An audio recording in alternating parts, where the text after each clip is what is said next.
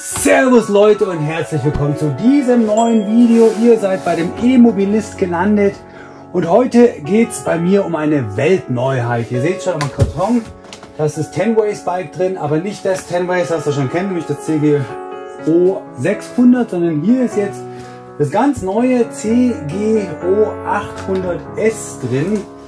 Design for Komfort, das ist ein Tiefeinsteiger E-Bike mit Gates Riemen, mit einem schön integrierten Display im Lenker, mit Ledergriffen und einem bequemen Sattel und einer Vorderfederung. Also dementsprechend eigentlich alles mit dabei, was man sich bei einem Tiefeinsteiger wünscht. Und das zu einem sehr günstigen Preis. Und wir haben ja schon bei dem letzten Tenways gesehen, dass Tenways tatsächlich nicht zu viel verspricht. Dementsprechend bin ich wirklich sehr gespannt drauf. Ein sehr vielversprechendes Bike. Und jetzt mache ich mit euch das Unboxing diesmal in voller Länge, weil es so spannend ist. Los geht's!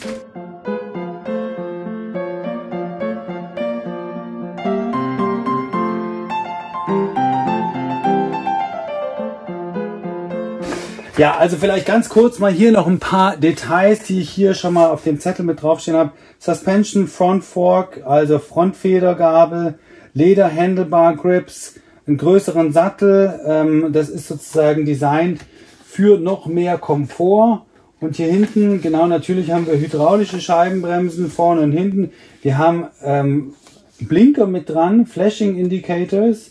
Dann haben wir eben ein richtig schön integriertes Display im Lenker mit drin. Wir haben Gates Carbon Drive, also ein Gates Carbon Riemen und da ist also wirklich dann auch vom Sensor her soll es sehr, sehr gut sein. Wiegt nur 19 Kilogramm, habt eine maximal Zuladung von 120 Kilogramm. Ähm, das ist aus 6061er Aluminium und es gibt jetzt hier in verschiedenen Farben Midnight Black, Sky Blue und Pebble Gray. Wir haben hier jetzt Sky Blue mit dabei und die Batterie ist eine 36 Volt 10,4 Ampere-Stunden Lithium-Ionen-Batterie. Ihr habt einen 250 Watt Motor hinten mit drin. Ja, also und Puncture-Proof Tires. Also im Prinzip alles, was man sich wünscht und sogar der Akku ist abnehmbar. Und das schauen wir uns jetzt mal an, wie das denn so aussieht in Realität. Also anscheinend bin ich der Erste in Deutschland, der dieses Fahrrad hier zu sehen bekommt. Also es ist tatsächlich wohl eine Weltneuheit. Dementsprechend bin ich aber wirklich sehr drauf gespannt. Ja, wenn wir jetzt hier reingucken, sehen wir das, der Sattel. Hier sieht man schon, da ist ein Display mit drin im Lenker integriert. Jetzt brauchen wir ein bisschen Werkzeug. Das. Und ähm, dann geht's los mit dem Unboxing. Würde mal fast sagen, ich schneide wie immer den Karton auf. Dann kommen wir da besser ran. Und dann ziehen wir uns das Fahrrad einfach mal raus hier. Und schauen da mal rein, ob das CGO 800S denn tatsächlich so komfortabel ist, wie wir uns das vorstellen. CGO steht übrigens für City Comfort und S für Series. Also wir haben die City Comfort Series, die Stadt Komfort Serie, ähm, das 800er Modell, wie gesagt, das 600er Modell habe ich euch schon mal vorgestellt. Da war ich ziemlich begeistert von, weil es wirklich so von den Komponenten her wahnsinnig günstig ist. Aber ähm, ja, also bei den Komponenten muss man sagen, ist es einfach günstig vom Preis her. Gute Komponenten und günstiger Preis, das ist das, was ich eigentlich sagen wollte. So. Und hier, also das Auspacken empfehle ich euch immer nehmt euch scharfes Messer, schneidet euch dabei nicht, aber schneidet einfach den Karton da an der Seite auf und dann kommt man da eigentlich immer ganz gut ran. Dann kann man das hier einfach aufziehen. Ja. So geht's schon und dann kriegt man das Fahrrad da raus, ohne dass man sich einen Bruch hebt. Probieren wir jetzt mal.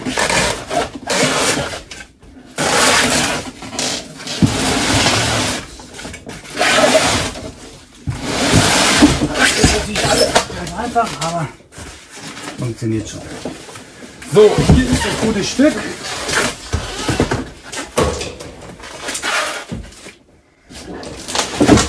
Da ist der Karton. Jetzt organisieren wir das jetzt mal so ein bisschen um. Gucken wir, was da sonst noch drin ist. Hier ist noch ein ziemlich großer Karton mit drin. Schauen wir auch gleich mal rein. Und ansonsten gehen wir mal die Kiste hier ein bisschen weg. Die Kamera vielleicht ein bisschen vor. Sind wir näher dran. So. Und dann können wir jetzt hier das Fahrrad so installieren. Also ich finde, es sieht schon mal toll aus. Das, der Lack ist wunderschön. Ähm, das Display gefällt mir auch sehr gut. Hier ist das Display eben im Vorbau integriert. Ja, das ist schon schick. Also klar, so eine Vollintegration, die hat natürlich immer den Nachteil, dass ihr keinen verstellbaren Vorbau habt. Das ist vielleicht ein kleiner Nachteil. Dafür ist einfach das Display schön aufgeräumt. Ihr habt da nichts zusätzlich rumfliegen. Das sieht schon immer besser aus, finde ich. Aha, hier ist nochmal ein großer 10-Ways-Karton. Da schauen wir auch mal kurz rein, was hier drin ist. Vielleicht noch ein bisschen Werkzeug, aber auf jeden Fall mal ein Ladegerät. Ja, hier ist noch eine Werkzeugpackung mit drin. Pedale, Ladegerät. Das übliche. Pedalen brauchen wir gleich noch. Werkzeug habe ich selber. Ein paar Reflektoren sind noch dran. Ich gehe davon aus, ah ja, genau, wir haben hier also ein STVZU-konformes Licht vorne und hinten mit dran. Das ist schon immer wertvoll, gerade in Deutschland braucht man das. Ansonsten sollte man da so nicht auf die Straße. Und, und ihr habt ja sogar noch Blinker mit dran. Da bin ich auch mal gespannt, wie die funktionieren. Also, das ist schon ähm, ja, so ein bisschen Zukunft, würde ich mal sagen. Und jetzt haben wir natürlich auch noch eine App-Integration. Das heißt, über die App müsstet ihr dann auch noch vielleicht noch ein Navi oder sowas mit ansteuern. Ich weiß aber nicht genau, wie das ausschaut. Das schauen wir uns dann im Test an. Aber es ist schon alles sehr vielversprechend. Auch gut verpackt hier. Natürlich ist immer sehr viel Verpackungsmaterial dran. Das ist einfach so, aber ihr wollt ja auch einfach ein Fahrrad haben, was da nicht verkratzt ist. Dementsprechend billigt man das. Jetzt in Sachen Nachhaltigkeit ist es natürlich nicht so schön, aber ja, muss sein. Ähm, hier sehen wir übrigens auch schon den Gepäckträger. Der sieht auch sehr stabil aus. 20 Kilogramm maximale Belastung. Hier vorne sehen wir jetzt übrigens auch schon die Knöpfe. Also ihr habt links und rechts jetzt Knöpfe hier mit Licht. An, aus. Geht jetzt noch nicht. Aber es sieht auf jeden Fall auch toll aus. Da versuchen wir mal hier noch den Vorderrad abzukriegen. Das ist hier mit so einem Klettverschluss gemacht. So, da spulen wir jetzt einfach mal ein Stückchen vor, machen mal ein Fast Forward und sobald es dann wieder spannend wird, melde ich mich.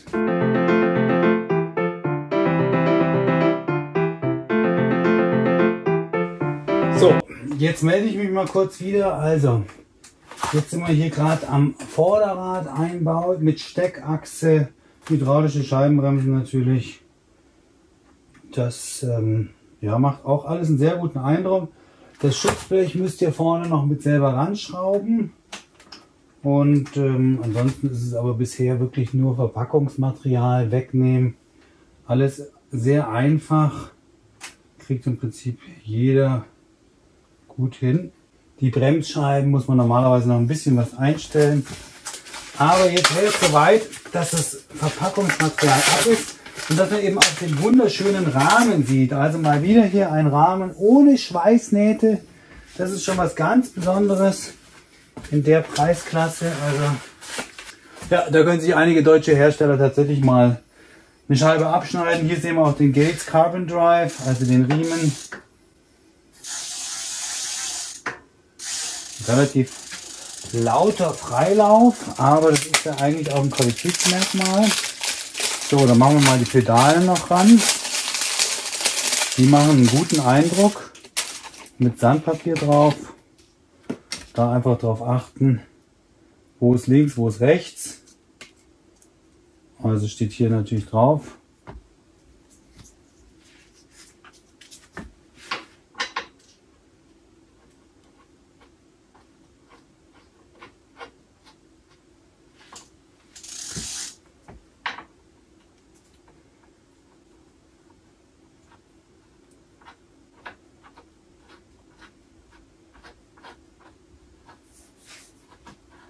Ja, da muss ich ehrlich sagen, Tenways, das ist jetzt mal wieder hier so ein Fahrrad, auf das ich mich wirklich freue.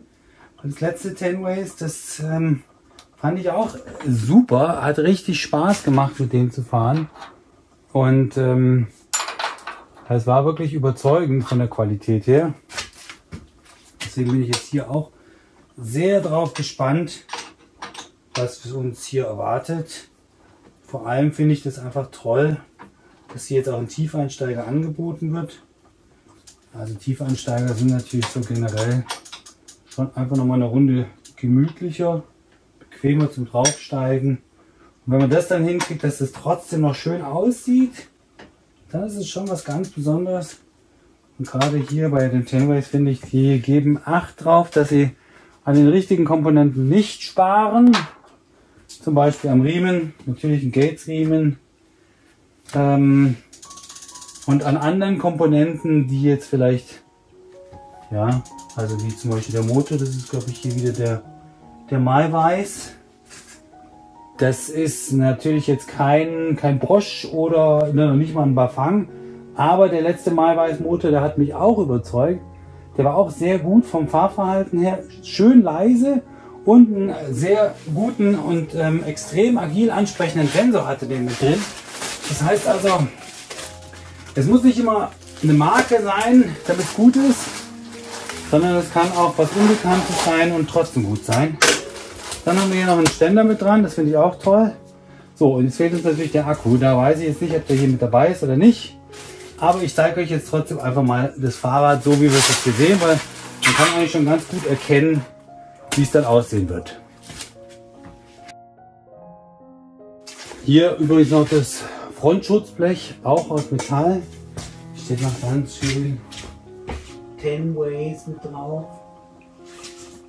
Hat schon was, ne? Also inzwischen würde ich mal sagen, die Marke, die sollte man schon kennen und die kann man auch ruhig draufschreiben.